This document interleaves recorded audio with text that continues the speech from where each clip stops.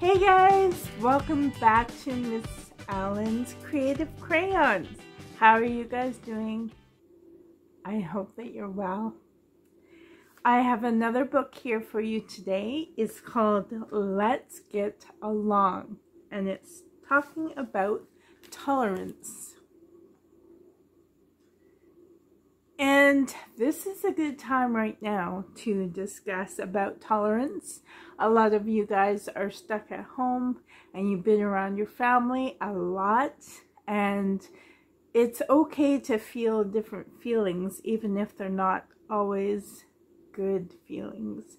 Um, some of you might be at home stuck all day and getting a little frustrated at uh, situations around you.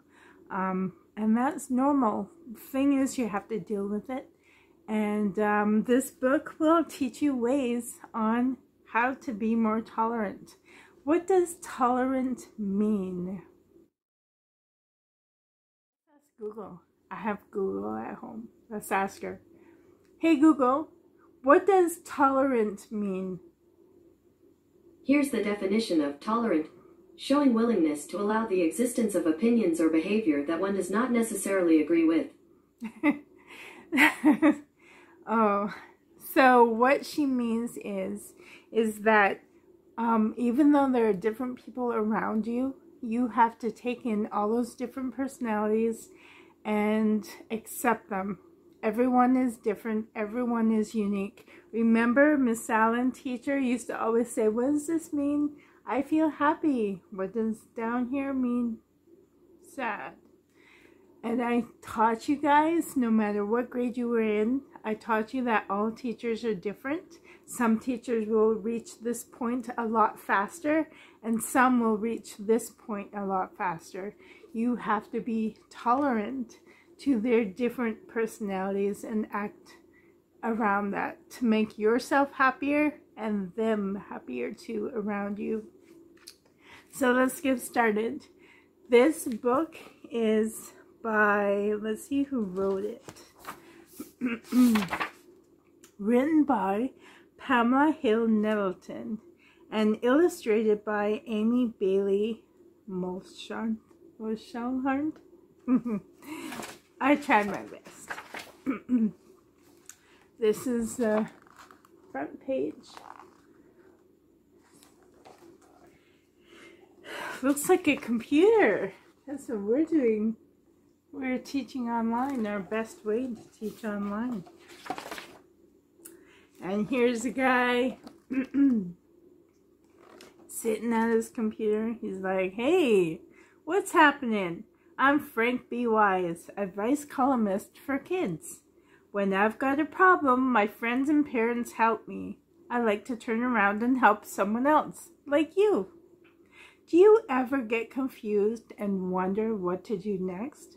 That happens to everyone, even grown-ups. It's just a part of life, I guess. That's why I'm here to give you advice. Today, I'll be reading letters from kids like you about tolerance. Tolerance means seeing that your way isn't the only way. It means knowing that each person is different and it's cool to be your own person. It's cool to let other people be who they want to be too. It sure would be boring a world if we all were the same, right? So read on and let's learn about tolerance. Sincerely, Frank B. Wise. Let's see what these kids have to write to him about. So here's a letter. oh, look at that picture. Does that look familiar? Let's read. Dear Frank, I have to share a room with my sister. She drives me nuts. She is such a slob. Her clothes are everywhere. I can't even find the floor anymore. Which one of us has to move out? Abigail. So can you guess which one is Abigail? Yeah, this one. Dear Abigail, sharing a room is tough. I used to share a room with my little brother, Ben, and we fought all the time. He said my toys and books took up all the space. I got so mad when he used to shove, or sorry, I got so mad when he used my stuff without asking. Then our family bought a new house. Now Ben and I have our own rooms. I have enough space for my stuff, but I'm still kind of messy. And Ben keeps his room neat and always asks to borrow my stuff. I guess Ben and I each have different ways of doing things. Sounds like you and your sister too. You're neat, she's messy.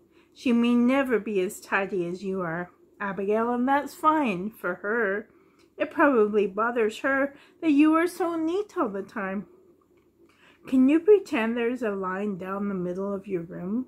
Your half can be just as neat as you like it to be, and your sister can mess up her half all that she wants. Who knows? Maybe she'll see how nice your half is and start to pick up her socks. But don't count on it. Frank. So what did Frank suggest to do? He said that maybe Abigail can have her space and her sister can have her space. And she takes control of this space and she takes control of that space. Might work. Let's read another one. Look at the picture first. I wonder what she has to say. Dear Frank, I like my friend Patricia a lot, but I don't like the food her mom makes. It smells strange and has weird vegetables in it. Can I tell her mom to make something else for me when I spend the night? Sarah. What do you guys think? Well, see what Frank says. Dear Sarah, no way. Here's the deal. Patricia's food isn't really strange. It's just new to you. When Patricia's mom offers you food at her house, you should be polite and try it. Don't make a face or crinkle your nose. It's not okay to tell her her food is strange, but it is okay to tell her that it's new to you. My dad says that if you don't like how it tastes, you can always say something nice about how it looks. Here's a food tip from me. I used to hate fish. I mean, really, really hate it. My mom kept making it though, and she always asked me to try just one bite. After trying a lot of little bites over the years, something happened. I actually started to like fish. So watch out. What strange food today may be your favorite meal tomorrow. Who knows?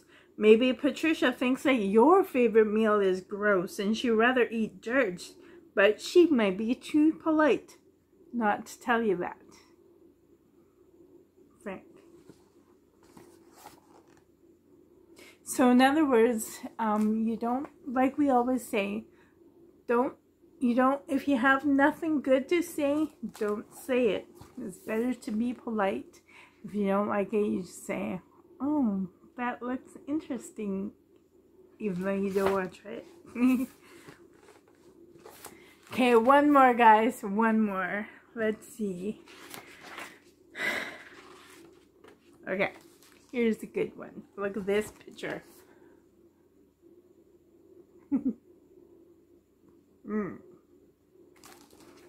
Dear Frank, we live next door to the crabbiest lady ever. She hates our dog and she yells at us when our dog barks. The name is Boxer. She yells at us when we use the corner of her yard for third base. She yells at us all the time. I guess it would be wrong to throw an egg at her house. But she makes me so mad I wish I could. What could I do? Gina. Dear Gina, Hold that egg. They taste so much better scrambled than scraped off a house door. You sure sound mad at your neighbor. I bet she's mad at you, too. Sounds like a little tolerance on both sides would be a good idea. The thing is, neither one of you owns the whole neighborhood. You share it. Your neighbor probably wants a little peace and quiet, and you want to play baseball in the yard. All you need is some extra room for third base. Poor Boxer just wants to bark. Maybe it's time for you to take some action. First, talk this over with your parents. If they say it's okay, give this a shot. Walk over to your neighbor's house, but leave Boxer at home. Most people love cookies, so you could bring some to share with your neighbor. It's hard to be crabby when you're eating a cookie. Tell your neighbor you're sorry you guys bug her so much and ask her if you could work out a deal. Find out what times are best and worst for her and see if you and your friends could stick to a schedule that doesn't bug her. Next time you see your neighbor out in her yard, don't frown. You smile and wave instead. Frank. I was pretty lucky growing up. I did not have any crappy neighbors. So there are more stories in this book. Let's get along. There are lots of different stories, but I know this video is getting really long. So if you guys like this series, please give it a thumbs up and hope that you guys are well. Stay safe, stay tolerant of your parents, of your siblings, and hope that you guys are well. I miss you guys so much, but I'll be here by video for you guys. Take care, guys. Love you. Bye. Bye, guys.